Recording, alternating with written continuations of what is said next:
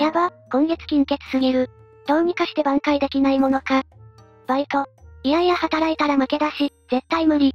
ああ、私のお金が宇宙の膨張針に増えてくれたらな。おいおい、そんな虫のいい話はあるわけないじゃないか。だいたい、例が何倍になっても例だろ。何よ、まだ無理って決まったわけじゃないじゃん。実際、私たちの宇宙だって無から生まれたんでしょ？確かに宇宙の起源についてはそういう説もあるが、最近は別の説も出てきたぞ。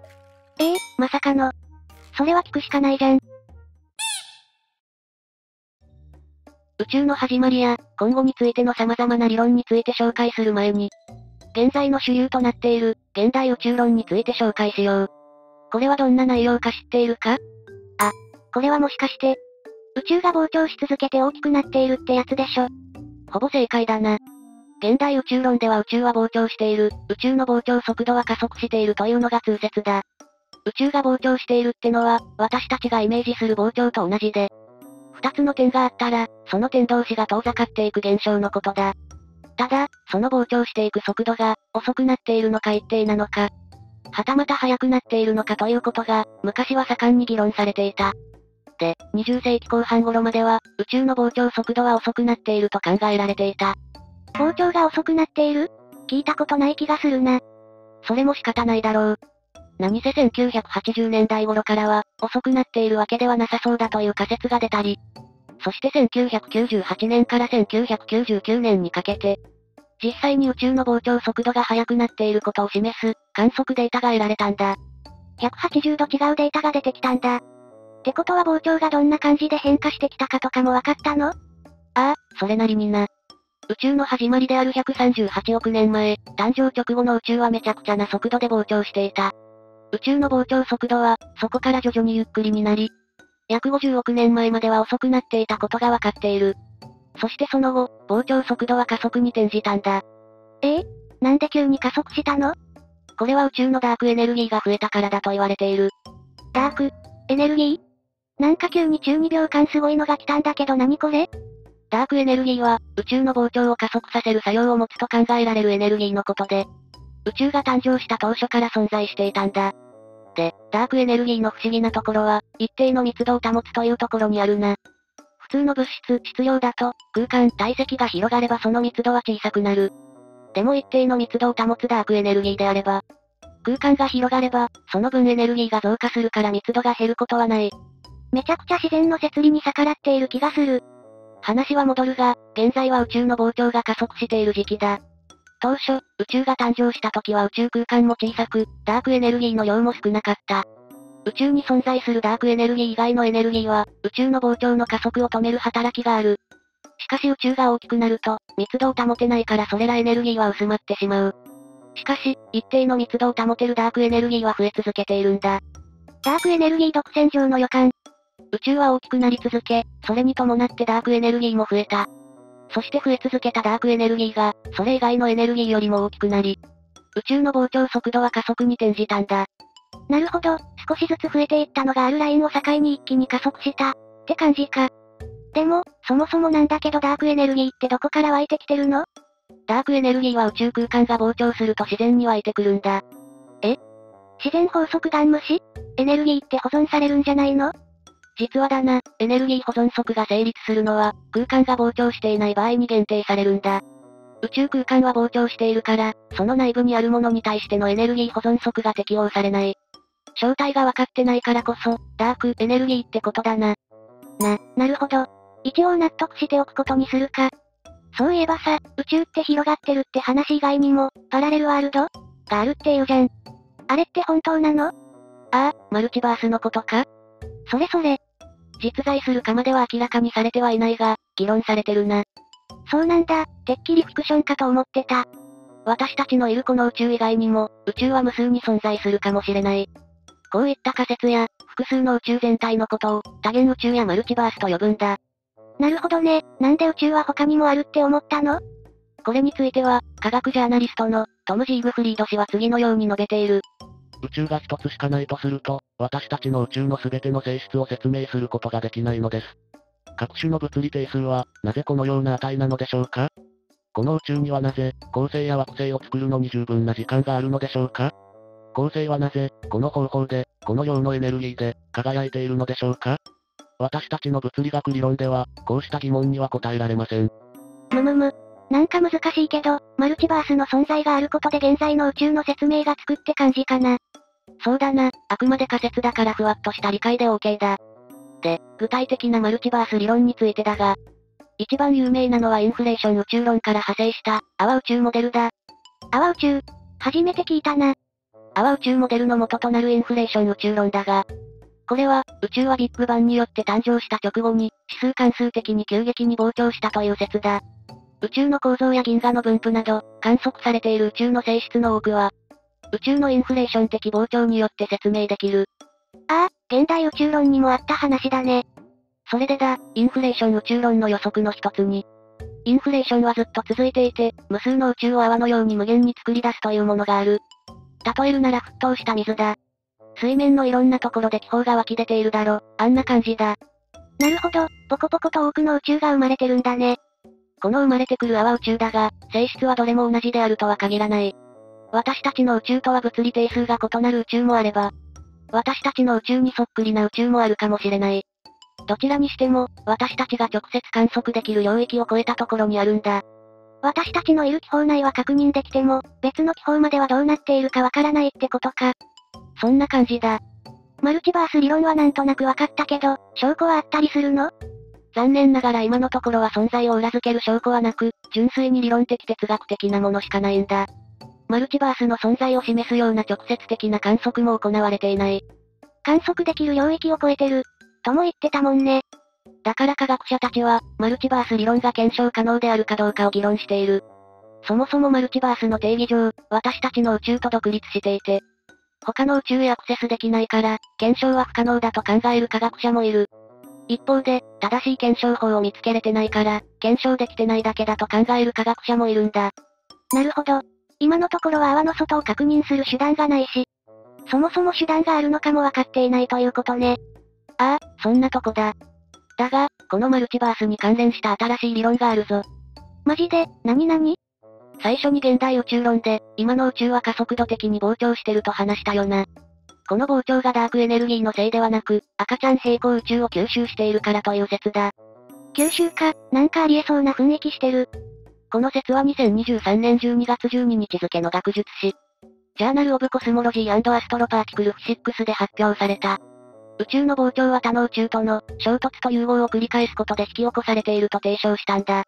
論文の筆頭著者であるコペンハーゲン大学の物理学者、ヤン・アンビョルン氏は、私たちの研究の主な成果は、謎のダークエネルギーが、宇宙の加速膨張を引き起こしているとする代わりに、いわゆる赤ちゃん宇宙との合体という、よりシンプルで直感的な説明ができるかもしれないということです。そして、そのための宇宙モデルは標準的な宇宙論モデルよりも、観測データとうまく合致する可能性があります。と述べた。この仮説だと、宇宙の膨張はダークエネルギーの力じゃないかもってこと。そういうことだ。だから今までの定説を覆すすごい理論なんだよ。確かに合体の方が素人でもピンとくるね。これまでにも、私たちの宇宙が別の宇宙と相互作用しているという考え方は提唱されていた。そして今回新しく、アンビョルン氏と東京工業大学の渡引氏は、他の宇宙が、私たちの宇宙の進化に与える影響を探る数学的モデルを開発した。そしてこの数式から、他の宇宙とこの宇宙との合体が宇宙の体積を増加させることと、この体積の増加イコール宇宙の膨張だと、観測機器で認識される可能性が導き出されたんだ。研究チームが実際にこの理論を使って、宇宙の膨張速度を計算したところ、その結果は従来の宇宙論モデルよりも、観測結果に近いものだったんだ。おお、ちゃんと計算上でも実態に近い結果が出たんだ。そしてこの理論のすごいところは宇宙のインフレーションの問題を説明できるところだ。インフレーションの問題？私たちが住んでいるこの宇宙だが、ビッグバンで誕生した直後の数ミリ秒で指数関数的に膨張したとされている。この指数関数的な膨張がインフレーションだな。今まではインフレーションは、インフラトンという仮説的な場で起きたと説明されてきた。しかし、このインフラトンもまだ正体がわかっていない。これがインフレーションの問題だ。ふむふむ。一方、新しい理論では、私たちの初期の宇宙がいきなり膨張したのは、より大きな親宇宙に吸収されたからだ。ということが示唆されたんだ。大きな宇宙に飲み込まれて急激に大きくなった私たちの宇宙は、赤ちゃん宇宙を飲み込み続けながらどんどん大きくなり、現在に至っているとのことだ。なるほどね。ただ、宇宙が合体する過程は詳細には分かっていないため、この理論が提唱しているような、宇宙の合体が実現するかは確かめられていない。しかし、渡引氏はライブサイエンスに、ユークリッド望遠鏡と、ジェームズ・ウェッブ望遠鏡の観測によって、どのモデルが現在の宇宙の膨張を、最もよく記述しているかの決着がつくと確信しています。と話している。おお、望遠鏡での観測に託されたんだ。ユークリッド望遠鏡と、ジェームズ・ウェッブ望遠鏡ってのが出てきたけど、ジェームズ・ウェッブは聞いたことあるけど、ユークリッドってのもやっぱすごい望遠鏡なの？ああ、そうだ。ユークリッド望遠鏡は、2023年7月1日。ジェームズ・ウェッブ望遠鏡は、2021年12月25日に宇宙へ打ち上げられた。このうち新しい方のユークリッド望遠鏡について、実際に撮影された写真も含めて紹介しようか。ありがとう、楽しみ。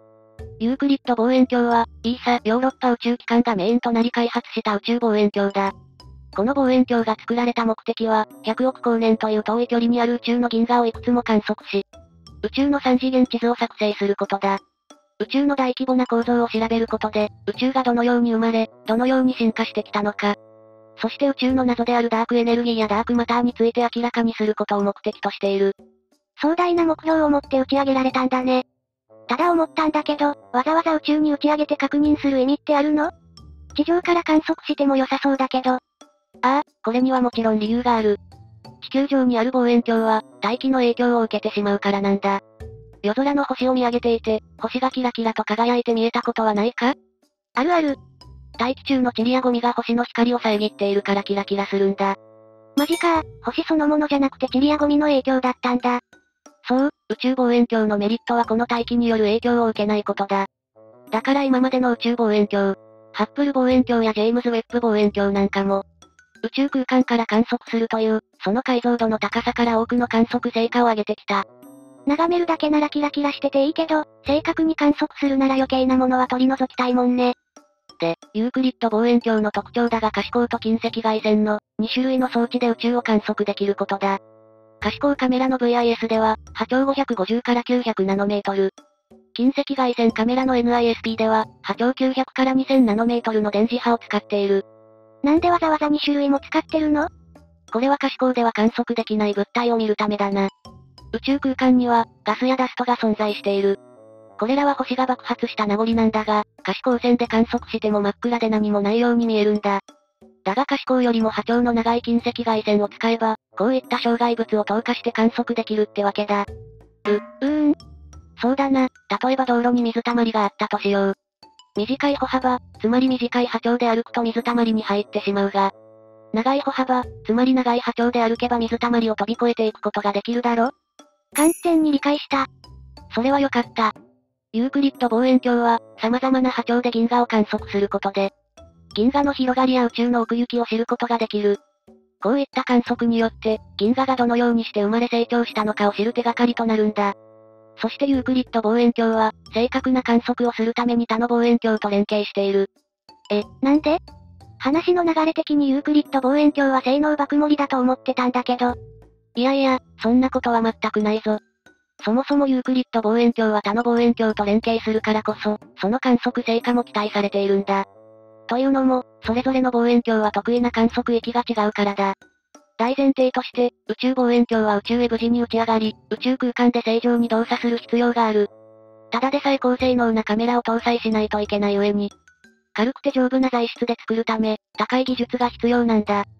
そっか、全部をハイスペックに、ってなるとハードルも上がるもんね。ちなみにこの連携は、ユニオンズプロジェクトと呼ばれている。ハワイ島マウナケア山頂域にあるすばる望遠鏡と、カナダフランスハワイ望遠鏡、そしてマウイ島ハレアカラ山頂にある、パンスターズ望遠鏡。これら3つの望遠鏡が、ユークリッド望遠鏡と共に協力するプロジェクトだ。具体的にはユークリッド衛星が観測する領域の約3分の1に対して、それぞれの望遠鏡が得意な波長で広域撮像を行う。さすがに地上の3台も、ユークリッド望遠鏡レベルの範囲をカバーはできないもんね。その分、その3分の1の領域で3次元地図を作ろう、ってことだな。地上の望遠鏡の担当範囲だが、スバル望遠鏡の超光視や主焦点カメラが、900ナノメートルという長い波長域。パンスターズ望遠鏡のメガピクセルカメラが、中間の波長域。カナダフランスハワイ望遠鏡のメガカムが、短い波長域を担当している。そして、実はユークリッド望遠鏡は単色の画像しか撮れないんだが、それぞれの望遠鏡が色を補うことで、カラフルな3次元地図ができるって仕組みだ。おお、いい感じに波長を分担してるね。ところでユークリッド望遠鏡は、宇宙のどのあたりで観測を始めるの？地球から150万 km 離れた、ラグランジュポイント L2 という場所だ。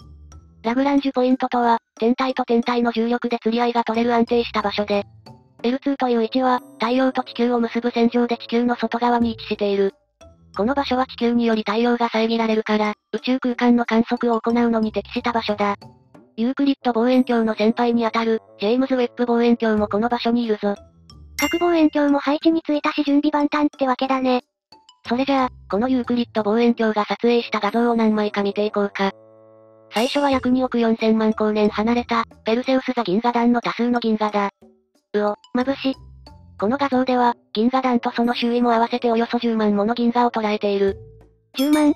銀河が10万よね？ってなると、その中には途方に暮れそうなほどの数の星があるってことになるよね。そういうことだな。で、こっちがさっきの画像を一部切り抜いた画像だ。いかにも銀河みたいなのがある、あの渦巻いているやつ。こういうのがポンポン映っているあたり、宇宙の広大さは計り知れないよな。余談だがこれはチャンドラ X 線観測衛星という望遠鏡が2002年に観測したペルセウス座銀河団だ。ええー、全然別物にしか見えないじゃない。全体的にもやもやしてるし。これでユークリッド望遠鏡、元井3次元地図作成プロジェクトの凄さが分かっただろ？うん。次は約1100万光年離れた渦巻き銀河、IC342 だ。すごい。綺麗な渦巻きになっているね。IC342 はガスや塵、構成などに覆われていて観測が難しいとされていた。だから IC34 は、非分ギャラクシー、隠された銀河とも呼ばれていた。しかしユークリッド望遠鏡は、搭載されている近赤外線カメラによってそうした物質を取り除き、銀河自体が発する光に焦点を合わせることで、観測を成功させたんだ。これだけ鮮明な画像が撮れれば新しい発見もありそうだね。科学において観察することは大事だからな。続いては、伊手座の方向約160万光年先の不規則銀河 NGC6822 だ。不規則銀河初めて聞くかも。不規則銀河は渦巻き銀河で見られるような、星々が集まった中心部や過剰湾。そして回転対象の円盤部といった構造を持たない銀河だ。言われてみればぐるぐるしてなくて、じゅわってなってるように見える、かな。NGC6822 は、1884年にアメリカの天文学者エドワード・エマーソン・バーナードによって発見されたことから、バーナードの銀河とも呼ばれている。へえ、発見自体は結構昔にされてたんだ。そしてこれは、NGC6822 の一部を拡大した画像だ。なんかすごく紫色の部分が主張してるね。紫色のところは星形成領域という。ここでは高密度の分子雲が重力で収縮して球状のプラズマとなり、構成が形成されているんだ。ってことは、今まさに新しい星が生まれてるんだ。神秘的だね。最後はオリオン座の方向約1375光年先にある、馬頭星雲だ。何これ？今までの画像とは雰囲気が全然違う。雲に星が降り注いでいるみたい。この雲みたいなのは暗黒星雲といって、ガスと塵が高密度に集まってできている。そして馬頭は、暗黒星雲がオリオン座シグマ星の、紫外線で照らされることで浮かび上がっている。紫外線でこんなロマンチックなことがあるんだね。それにしてもどの画像も宇宙の神秘と広さを実感させてくれたね。そうだろ？ユークリッド望遠鏡はまだまだ観測を続けるから今後の成果にも期待だな。改めて、宇宙は無限に広いように感じたなでも、あれだけ高性能な望遠鏡を使っても、観測できない場所がもしかするとあるかもって考えると、やっぱ見えてないだけでマルチバースってあるのかな？って思っちゃうな。今日の話の最初で少し触れたように、マルチバースは科学者の中でも賛否両論だもんな。最後にマルチバースについてもう少しだけ掘り下げようか。お、いいね。あの車椅子の天才ホーキング博士も、最後の論文ではマルチバースに関連した内容となっている。マジか、大物科学者から関心があるんだね。改めてマルチバースとは何かだが、私たちの宇宙が唯一ではなく、他の複数の宇宙と上位構造を共有しているかもしれないという考えだ。シドニー大学の宇宙物理学教授である、ジェラント・ルイスは次のように述べている。宇宙の初期段階のインフレーションは恒久的であり、ここの宇宙はそこから生まれていると示唆する人々もいて、それぞれ独自の物理法則を根拠としています。私たちの宇宙と並行する宇宙が存在する場合、そこは生命を維持できるかもしれないし不可能かもしれない。うーん、改めて聞いても、何でもありじゃん。マルチバースは確立されているわけじゃないからな、軽く聞いておくくらいがちょうどいいぞ。で、私たちの宇宙におけるインフレーションは、宇宙がビッグバンから生まれたことを示す重要な証拠ではある。しかしビッグバン以前に何が起きていたのか。そして、別の宇宙が私たちの宇宙と同時に生まれたのかどうかは、一切解明されていない。確かに、私たちのいる宇宙以外の宇宙もポッとできてもおかしくはないもんね。ああ、そうだな。ただ、繰り返しになるが別の宇宙、つまりマルチバースが存在するという証拠は一切ない。だからマルチバースによくある誤解として、それが証明された本物の理論だというのがある。これについてルイス氏は、そうではありません。数学的根拠はなく、様々な思想を集めたものです。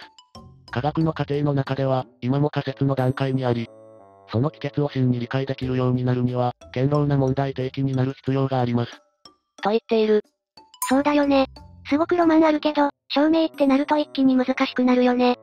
理論だけでなく、観測もできないと信憑性低いだろうし。それは間違いないな。ここでホーキング博士の最後の論文の登場だ。この論文はマルチバースの可能性に影響を与えた。